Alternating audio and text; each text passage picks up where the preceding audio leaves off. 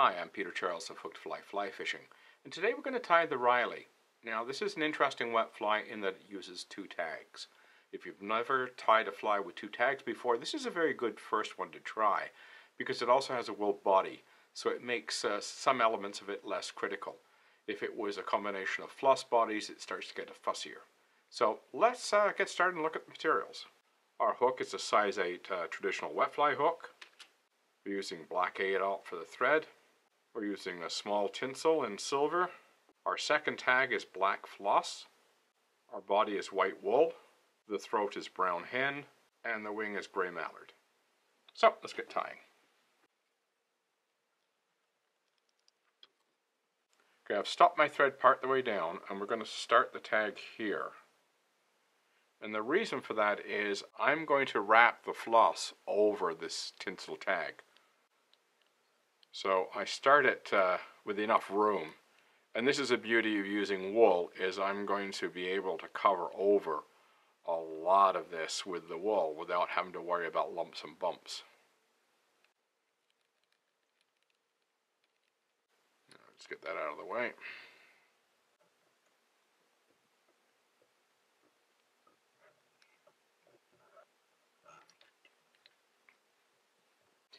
Now I'm going to tie my floss.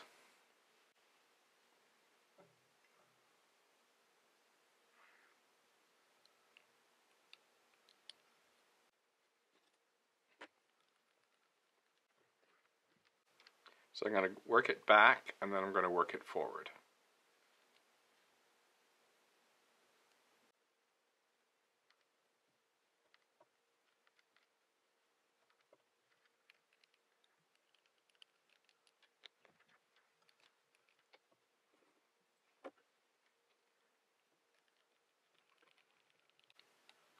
Going to build this up a little bit so help out with the uh, white floss.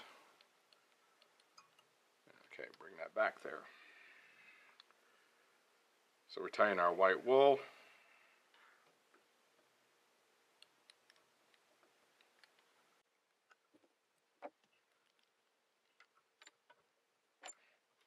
Now we're going to advance forward.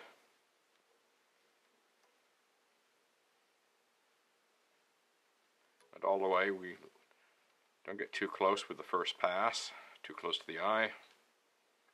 Now we'll bring that back out to the floss tag. Now start forward again.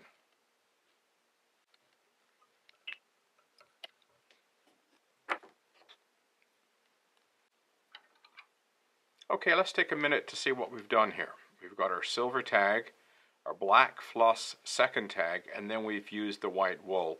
And because the body wasn't particularly even, I've been able to use the wool to fill those gaps. It's one of the nice things about using wool, and I've made three passes.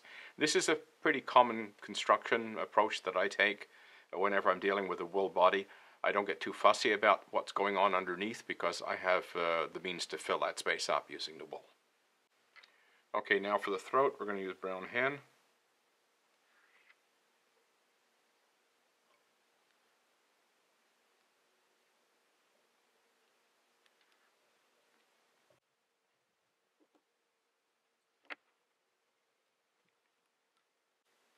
Now for the wing. Try and uh, even up the points as much as you can.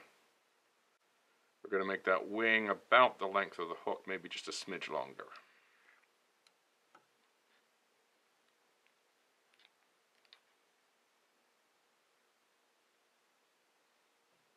Make sure it's centered.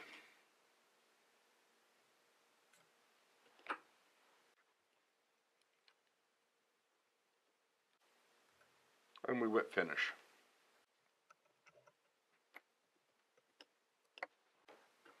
Finally for some head cement. Okay, there we have the Riley. A fairly straightforward fly, except for that uh, additional second tag.